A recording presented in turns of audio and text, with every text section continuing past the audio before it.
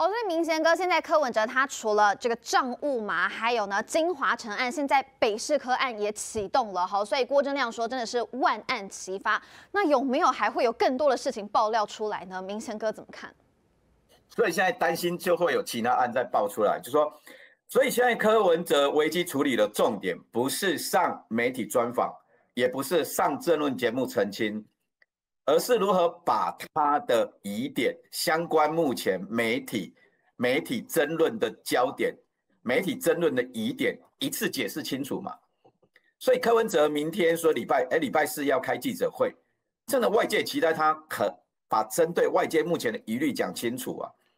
譬如说我以我自己为例啊，我今天早上去买早餐的时候，店员店员就说：“哦啊，您最近见这些新闻那也叫这。”一个柯文哲，一个郑文灿，那个卖早餐的老板娘是把柯文哲跟郑文灿连接在一起，哎，就这个这个对柯文哲有多伤啊？柯文哲过去给大家的形象说啊，讲究呃阳光啊，公开透明啊，讲究居住正义啊，啊，结果他现在的形象是跟一个被被那个囚处十二年重刑的郑文灿绑在一起，形象是人家是一般民众是认为两个人是一样的时候。你看这个对柯文哲多伤，所以柯文哲，譬如说他他他的两两大问题，三个问题了。第一个，呃，他的那个政治现金申报不实的部分，不论是你把责任推给端木正或推给黄珊珊，那原则上报的还是你的账啊。这个你如何解释清楚？这解释不清楚，没有解释清楚之前，更何况同一时间又爆出他的太太陈佩琪去看豪宅。看小宅，看商办，那柯文哲又火上加油，他讲了一句说啊，我们买得起啊，不用装穷啊。那这这这话不是火上加油吗？如果柯文哲第一时间在解释的时候，我们买得起，他也直接直截了当的说，那我们五月还去买了商办，那可能伤害还小一点哦。结果他没有解释清楚，然后被林元凤、民进党的议员爆料出来说，柯文哲在五月十号捧着现金去买了林森南路的四四千三百万四十八平的商办，你开玩笑嘛？啊，这不是让人家讲说啊，你现在钱很多啊，捧捧了现金去买豪宅，所以老讲，你当然你现在有学，你你现在的问题是说，你的大选的政治现金有四亿多了，结余了六六六六千多万。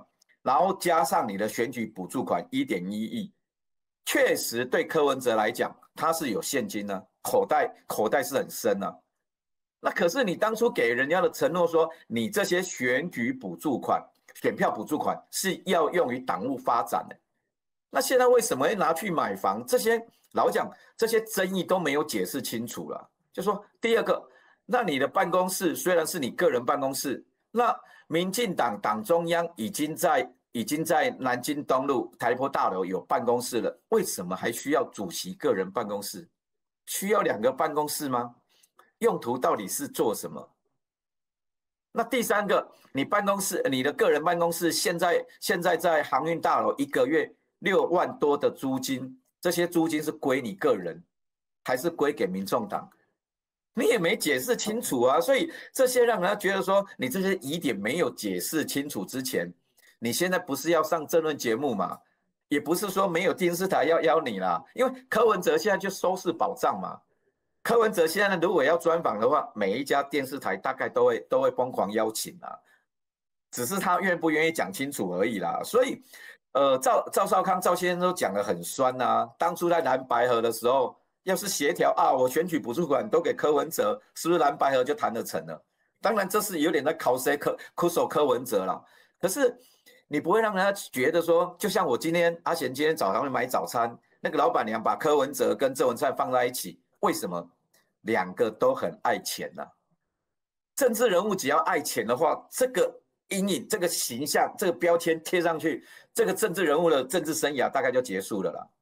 所以很多人，包括民众党内部也开始在逼宫了，包括陈婉慧啦，甚至包括何锦荣这些民进呃民众党内部人说，认为说啊，主席要不要先请假？党内的权力决呃决决策核心要不要调整？老讲这些都是内部的检讨啦。不过关键还是在于柯文哲怎么面对这次的危机处理。如果他假设认为说这是政党攻击而已，大家都污蔑他了，那他就要把相关的疑点解释清楚啊。政治现金到底要怎么申报的？是不是有做假账？第二个，还有包括他买房的个人办公室是要做什么的？那第三关最难过了，金华城的官司约谈了，减掉约谈的十四位都委。那台北市副市长彭正生在立呃在台北市议会做证词也说这是柯文哲交办的。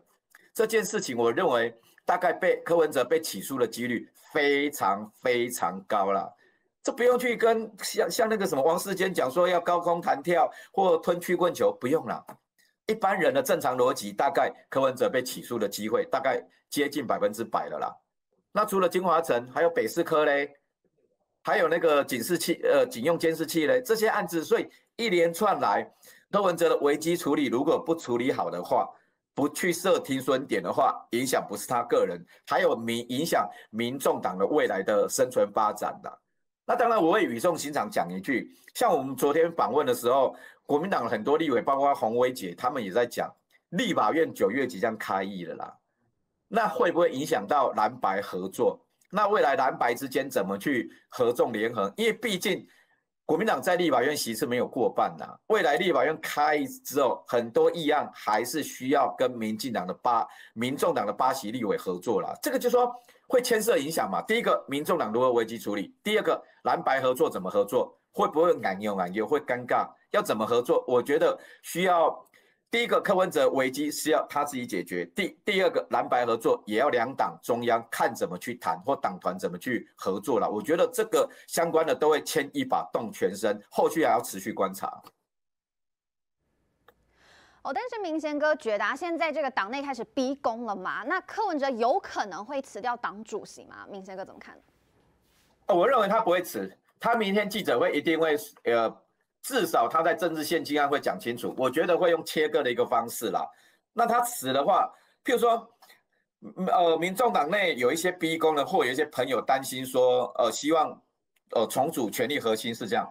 他担心说，柯文哲如果到时候在金华城案被起诉，那会不会有党纪处分的问题？那退一万步讲，假设柯文哲当然被收押，我认为机会不高了啊。可是如果被羁押了呢？民众党是不是群龙无首？所以这些包括何锦荣他们的建议是良心的啦，真的是比较恳切的建议。那至于说柯文哲老讲，对他个人来讲，他创立台湾民众党也也是为了他个人要布局二零二六啦。假设他辞了党主席，等于宣告宣告他的政治生涯到此为止。我认为这跟他的个性不符合啦，他还是会奋战到底啦。那只是说从民调呈现来讲，民进党他民众党的民调一直在持续下滑，哎，还没有看到停损点呢。所以明天柯文哲的记者会如果没有讲清楚的话，没有设一个停损点的话，把外界疑虑讲清楚的话，我觉得还是民众党还是会持续下滑，看不到停损点呢。所以。柯文哲现在请不请辞，我认为不是重点啦。我也认为他不会请辞啦，而是柯文哲必须要把外界对他的疑虑解释清楚。还有，他买办公室的目的到底是为了什么？四千三百万呢？四十八平呢？要做什么？做招待所吗？还是个人接待？如果假设他的办公室作为说，啊，我就捐给民众党，或让民众党无偿使用，那也 OK 啊。党团的休息室也 OK 啊。那不然，否则你这些疑虑，大家疑虑都在的时候，民众党怎么生存发展呢？所以柯文哲不管再怎么样，明天记者会是关键啦。那最好他说没有人要邀他上上争论节目或专访，那我中天也是我的老长官啊，我我的老东家，中天安排他专访，让他解释清楚啊，看他愿不愿意啊。所以。我觉得解铃还需系铃人呐。柯文哲自己中了这这些很多的问题，他自己不解释清楚的话，他个人倒掉，民众党恐怕也很也很很难逃这这个难关啊。所以明天的记者会还是最大的关键。好，所以我们就等着看啊，这个希望明天柯文哲的记者会呢，可以好好的厘清一下大家所有的疑点，也希望他可以交代清楚。好，那我们今天也非常感谢明贤哥播控来跟我们视讯，有非常多的分析还有观点，感谢明贤哥，谢谢，好，拜拜。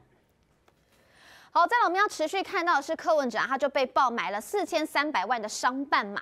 好，时事评论员郑丽文他认为说，这个完全是家族间的制产投资。柯文哲还好意思说比两大党还要清高。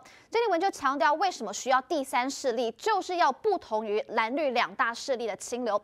但是两大政党还是有底线的，柯文哲却是把补助款拿去制产，这个比蓝绿还不如。这是他们自己家族讨论好的。决定的一个作为很明显，因为他们选完了之后，夫妻俩分头去看房子嘛。嗯，老公看的是商办嘛，老婆看的是住家嘛，所以他们其实这是一个家族理财投资的计划。你要把这笔钱用来帮自己买办公室，你有很多方法。